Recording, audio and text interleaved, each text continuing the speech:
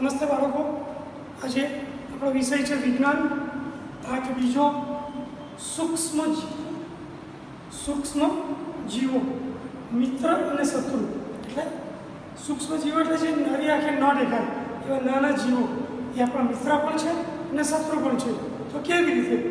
તો હવે બાળકો આપણે પાઠની સમજૂતી જોઈએ. કેટલાક સૂક્ષ્મ જીવો એવા છે જેને આપણે નાની આંખે જોઈ શકતા નથી. તેને સૂક્ષ્મ જીવો કહે છે. નાની આંખે એટલે સીધા ના જોઈ શકે સૂક્ષ્મ જીવોને ચાર ભાગમાં વિભાજિત કરવામાં આવે છે. બેક્ટેરિયા, ફૂગ, લીલ અને પ્રજીવ. વાયરસ પણ સૂક્ષ્મદર્શી હોય છે, પરંતુ તે અન્ય સૂક્ષ્મ જીવો કરતાં ભિન્ન હોય છે. તે માત્ર યજમાન કોષોમાં જ વિભાજન પામે છે. વાયરસને સજીવ અને નિર્જીવને જોડતી કડી પણ કહેવામાં આવે છે.